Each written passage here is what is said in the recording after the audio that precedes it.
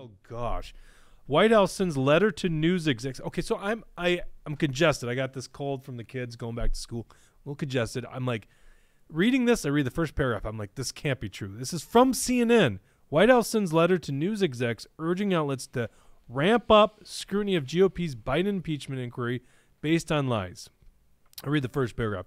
The White House sent a letter to the top U.S. news executives on Wednesday, urging them to intensify their scrutiny of House Republicans after speaking, Ke- Speaker Kevin McCarthy launched an impeachment inquiry into President Joe Biden despite having found no evidence of a crime. What are you talking about? There's no evidence of a crime, Neil. Mm-hmm.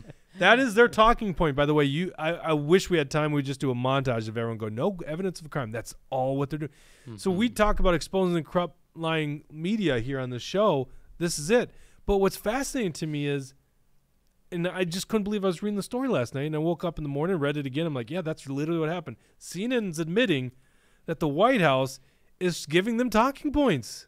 Mm-hmm. So 40 years ago, you would win a Pulitzer for digging deep on how exactly this happened, right? I mean, Watergate, like, bad. This, just as bad.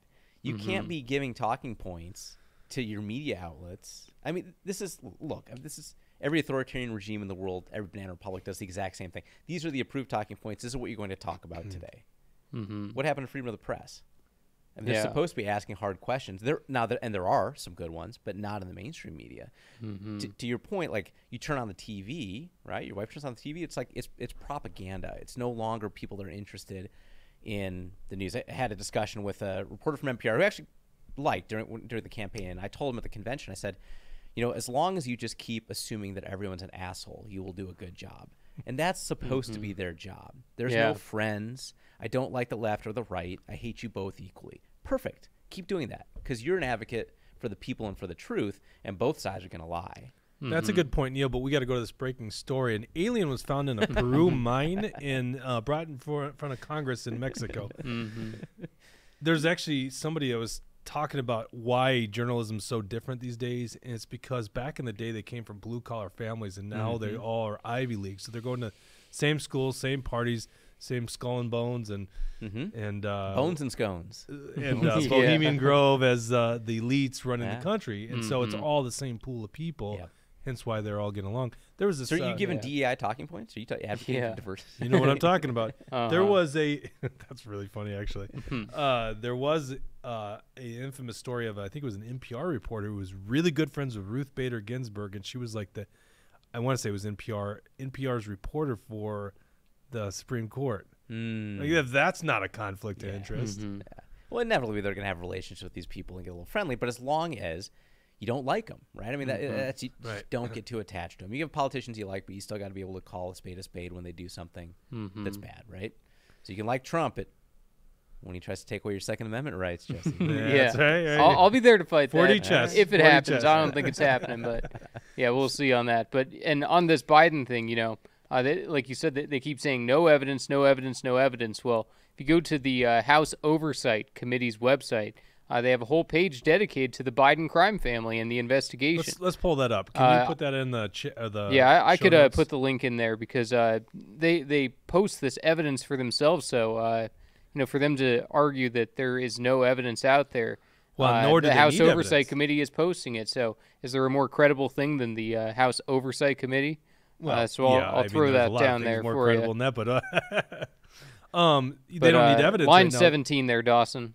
They don't need evidence. They need probable cause. That's what they need. That's right. Who, who's the big guy? Ten percent for the big guy. Who's the big guy? This Yeah. isn't convicting. This is charging. right. Right. Well, it- it's not. Yeah, it's it's It- it's the equivalent, right, Yeah, it's criminal the- law of- Well, but not even that. It's the preliminary charging because it's actually the investigation. Yes, they have not actually formally impeached. Yes. Mm-hmm. Babylon Bee had the funniest meme. Who sent that to me? What am I Was my doing Dad? this? Yeah, so go ahead and scroll down there, Dawson. Hold on one Uh, second. I have to bring up this hilarious thing. Oh nope. Okay. Yep, keep going down there, I'll find Dawson. it. in- I'll find it in a second. And right there, you'll see the key evidence uh, that's listed out. One of them is an interactive timeline of the Biden's pay for play schemes, the uh, Oversight Committee report revealing the Biden dealings with foreign countries, Biden bank records, memorandum showing the family created over 20 shell companies, key findings from the IRS whistleblowers, whistleblower transcript, press releases, uh, follow up letter seeking a transcribed interview in the wake of the IRS whistleblower's explosive testimony, and the FBI Form 1023 alleging that then Vice President Joe Biden engaged in a bribery and extortion scheme and ultimately received $5 million from a Burisma executive. So, you know, how's that for evidence? that sounds like some pretty damning evidence to me. And uh, it's about time that the you know Republicans in Congress finally acted on this. This is why we were doing this at the state fair. We were telling people we had to impeach Joe Biden because he's com- uh, committed all these unconstitutional actions. And unless it's on record, you know, we'll see what happens in the Senate. There's a lot of RINOs in the Senate, uh, but at least we can put these people on record. Same thing with the House. Put them on record. Let's see where you know the votes are at. Uh, because if you're not willing to endure uh, to uh, impeach Joe Biden, then you're a RINO. And you know they're acting like there's not the votes there right now too, which is really fascinating. Mm-hmm. Yeah, that's what CNN and the others keep saying that uh, McCarthy doesn't have the votes. That's why he's doing this on his own. Which maybe it's true. I don't know. You know, you have to ask each of these uh, individual members, but uh, it would be interesting. I think ultimately they should all fall in line. My man George Santos, he's all in favor of uh, what's going on right now. He says McCarthy's doing a great job, uh, but you know, and I, I'm semi impressed with McCarthy. Uh, he's taking things further than I expect him to. Uh, but also, also, I love what Matt Gaetz is doing and holding him accountable, saying that if you don't, you know, uh, fulfill the promises you made to us when you ran for speaker, then Matt Gaetz is going to stand up and try to get him removed. Uh, so, you know, th- there's always a lot of stuff going on within D.C., but so far I'm semi impressed with McCarthy, and I love what Matt Gaetz is doing because we need the we need the whole truth and uh, we need everything exposed. So I think that um, you know it's McCarthy's playing this kind of perfect now for where he is because I I think he's going to ha- essentially have his cake and eat it too because he knows that there's not going to be an impeachment vote because I don't think he has the votes. He's going to give talking points that the conservatives um, in like the Freedom Caucus, for example, can take back and say, "Hey, we." We investigated. They'll use the word impeachment, even though it was an impeachment investigation, even though that's a step before even recommending impeachment. Yeah. Um, I know that there aren't the votes. It was too tight, and there's too many people that got in that were in districts that voted Biden, but were frustrated enough that they sent a Republican to the House. So first term Right. people that are vulnerable.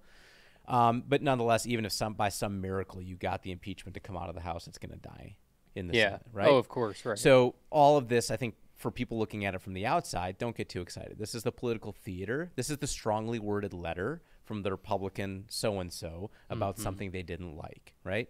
It's it's uh, smoke and mirrors. It means absolutely nothing, and mm-hmm. don't change who you vote for or think someone did a great job just because they presented you with a dog and pony show. Mm-hmm. This is the game in Washington. Yeah, but behind it is a very important tool is impeachment. So I don't want to undermine what's going on here, and I'm very pro impeachment. We just did a booth about it because when a person acts out of line, and this actually comes before it's I think he's president, so I'm not sure th- what they're putting in front. Impeachment's the correct measure, but then again, there's nothing else you can do against a sitting president. Mm-hmm.